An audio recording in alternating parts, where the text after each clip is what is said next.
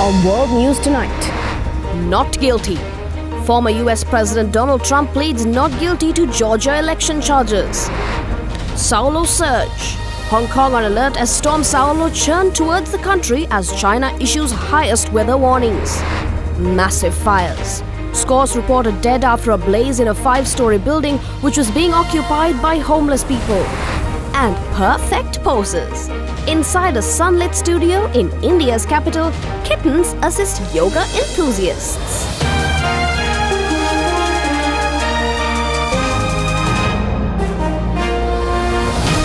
This is Ada Derana World News Tonight. Reporting from Colombo, here is Anuradhi Vikramasinghe. A very good evening, and you are joining us on World News. Now, we start in a chaotic Hong Kong as schools were closed and flights were cancelled as Hong Kong hoisted its third highest storm warning in anticipation of Typhoon Saola, which is expected to brush the city and could be its worst storm in five years.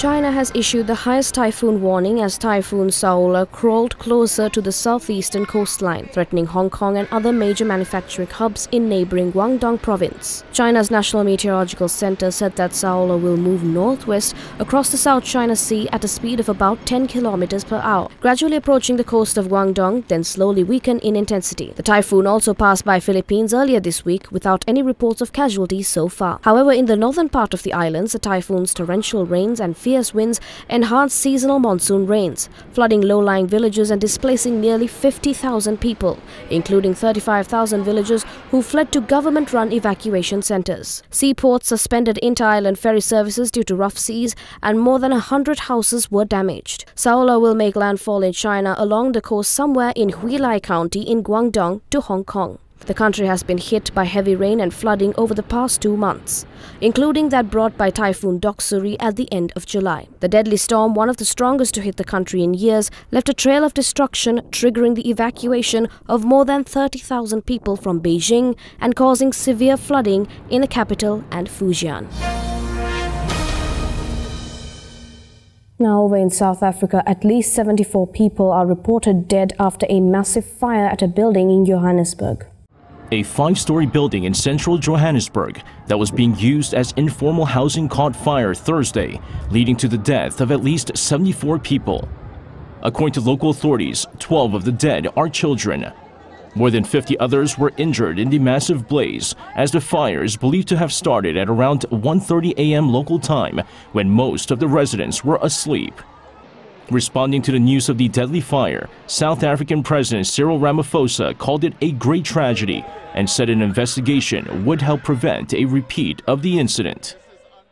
This incident calls on all of us, from the emergency services and other entities of government, to reach out to survivors, to help restore people's physical, psychological well being, and to offer all material help and assistance to the residents affected by this.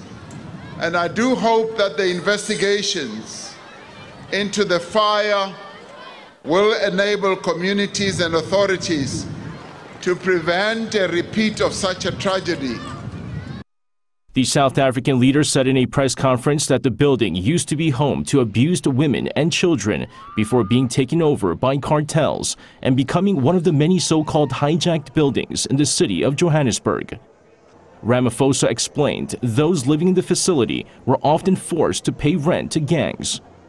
Many other properties near where the blaze occurred also have houses deemed unfit to live in as they lack running water, toilets, or a legal electricity connection.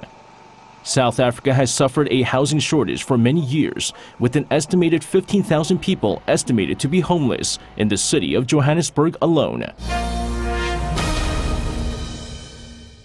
Former US President Donald Trump has pled not guilty in his Georgia election fraud case, waiving the right to appear in court next week. Mr. Trump is among 19 people charged with a conspiracy to overturn the U.S. state's 2020 vote results.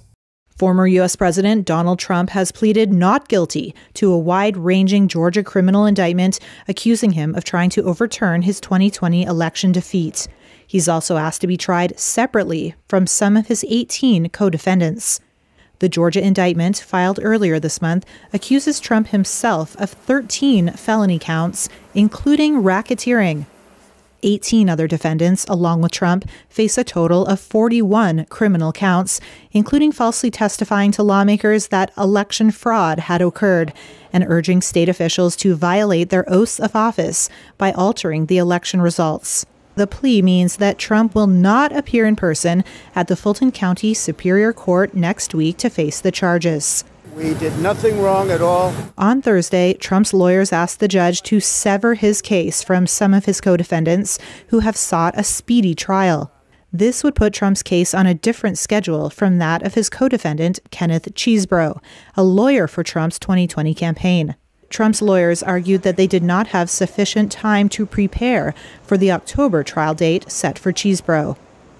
Despite four indictments amounting to some 91 criminal charges in New York, Miami, Washington, and Atlanta, Trump remains the frontrunner for the Republican nomination for the 2024 presidential election. Trump has pleaded not guilty in all criminal cases and could spend much of next year in court even as he campaigns to retake the White House.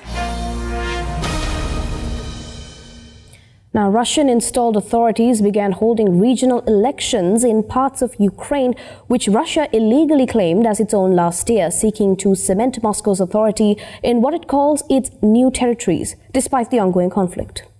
Local elections are underway in parts of Ukraine that Russia claims as its own an effort by officials there, installed by Russia, to cement their authority as the war continues. Journalists in the Russian controlled city of Mariupol watched as some residents cast their vote after showing their new Russian passports to officials. We hope there will be peace. Naturally, I think everyone hopes for that. It's desirable that peace comes as soon as possible. Many have already fled Russian occupied territories like this. Such areas have seen some of the worst damage of the war. Vadim Boychenko is the exiled Ukrainian mayor of the city. Now in Kiev, he told that Mariupol residents are being ordered to vote at gunpoint, a claim which couldn't immediately be verified. He calls it a sham election. Вибори. І так само треба подивитися, що вони будуть обходити, як вони вже це робили. They're going to walk from apartment to apartment as they did before talking to people. Два військових з автоматами. There are two soldiers standing nearby carrying machine guns and they tell the people that they must vote. People open their doors, they get scared and answer, "All right, whatever needs to be done, I'll do it." Russia doesn't fully control any of the four regions where the votes are being held Donetsk, Luhansk, Zaporizhia, and Kherson. They each have governors handpicked by Moscow, all members of President Vladimir Putin's political coalition called United Russia. All of them are now running for full terms in office. Ukrainian officials say the elections are illegal. They say it shows why it's impossible to hold any peace talks with Moscow until Russia withdraws all its troops from Ukrainian territory. Australia's Victoria is at risk of regular blackouts this summer. A grim assessment of the country's electricity grid has warned that major blackouts are due until rapid investments are made in renewable energy. In business, like households, the reaction to power bills is the same. Now, how can they be more expensive? Doesn't make sense. Especially when told our electricity grid is the most flimsy. At the energy market operator, a timely malfunction. We're locked in. We're locked in. As it declares, Victoria's slow transition to wind, hydro, and solar puts power supply in jeopardy over a decade. An elevated level of risk, um, in particular in Victoria and in South Australia. As early as this summer. It'll be hotter and drier, so air cons will be in overdrive. There will be less wind, meaning less power from wind farms, as old coal stations struggle. Throw in outages, and that's the blackout scenario. There are emergency reserves. But Will the Minister guarantee there will be no blackouts in Victoria this summer? no minister in the country could. This government was working every single day hard to deliver the energy transition that will keep power bills as low as possible. More than 130 renewable energy projects are in the works here, many though not finalised and not considered in the gloomy outlook. This is not a report that predicts what's going to happen, but it's a map for investors showing them where and when to invest to fill those gaps. These power stations are old and tired. They need to be replaced, and that's the work we're doing. Let's go for a short commercial break. You're watching World News.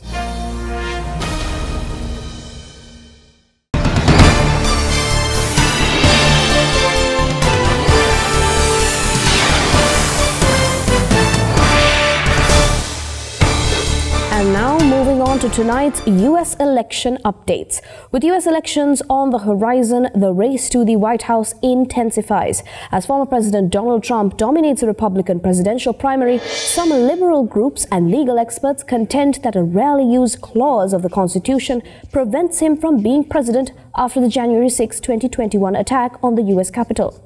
The 14th Amendment bars from office anyone who once took an oath to uphold the Constitution but then engaged in insurrection or rebellion against it. A growing number of legal scholars say the post Civil War clause applies to Trump after his role in trying to overturn the 2020 presidential election and encouraging his backers to storm the U.S. Capitol. Two liberal nonprofits pledged court challenge should states' election officers place Trump on the ballot despite those objections.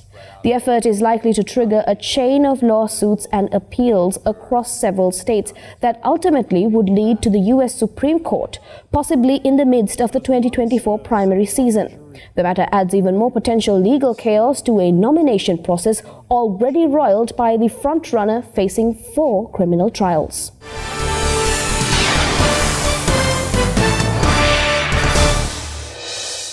Now, Iran has accused Israel of trying to sabotage its ballistic missiles program through faulty foreign parts that could explode, damaging or destroying the weapons before they could be used. The Israeli Prime Minister's office declined to comment on the allegation, though it comes amid a years long effort by both Israel and the United States to target Iran. A report also said that the parts could be used in Iran's extensive arsenal of drones, which have grown in prominence amid their use by Russia in its war in Ukraine.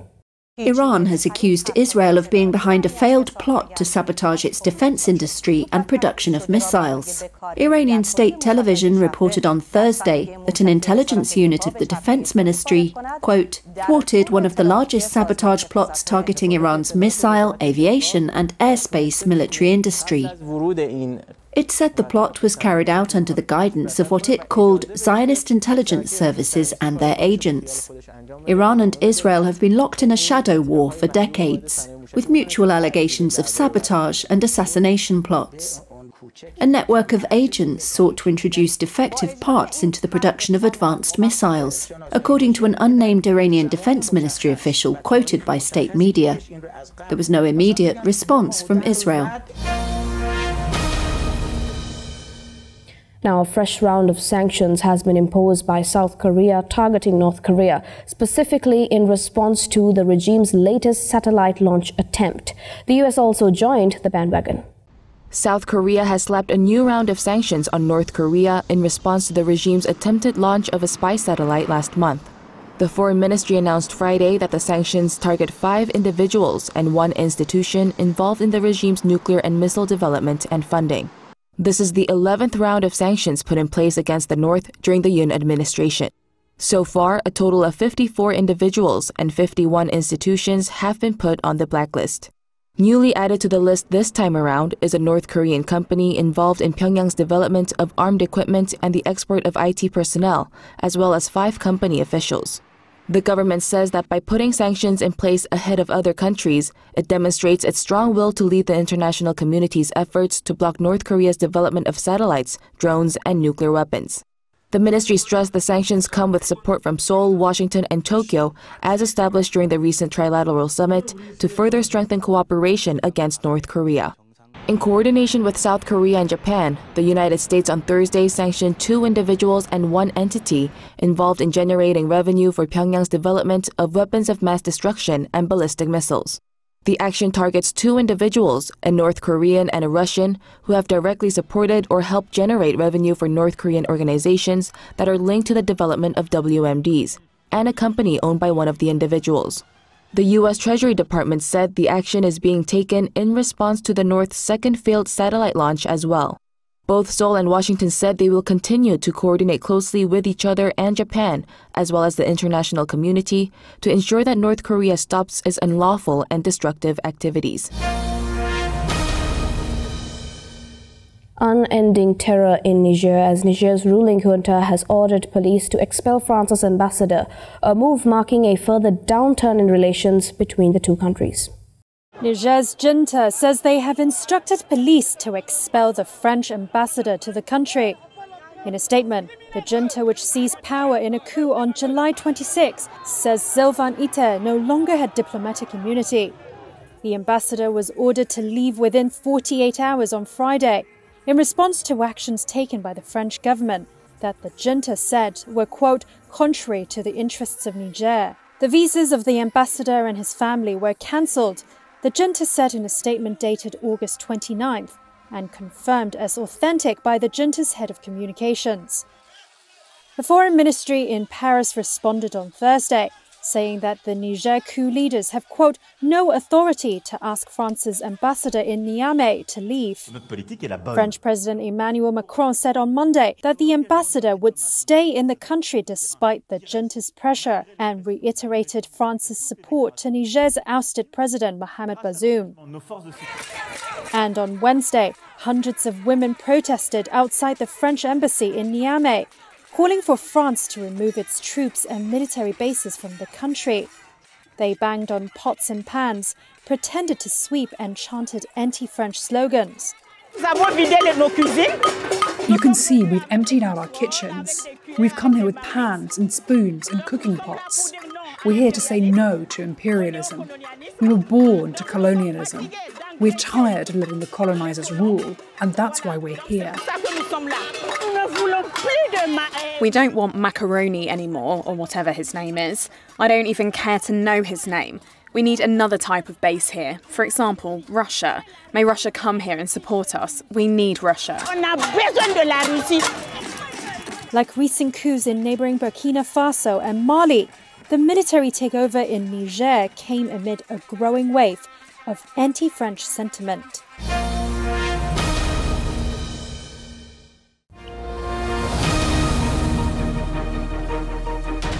Welcome back. And For more news, let's take you around the world in a minute.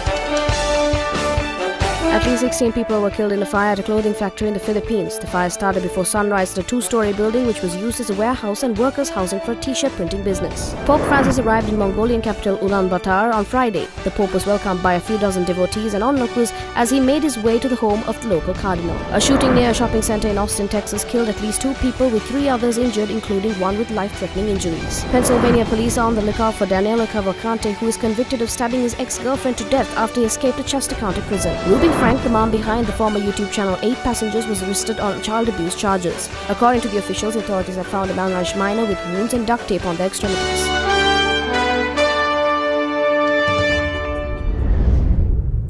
And that is all we have for you on World News Tonight. Join us again on Monday for more news across the globe. If you missed any of today's programs, you can always rewatch by catching us on our YouTube channel, youtube.com slash English.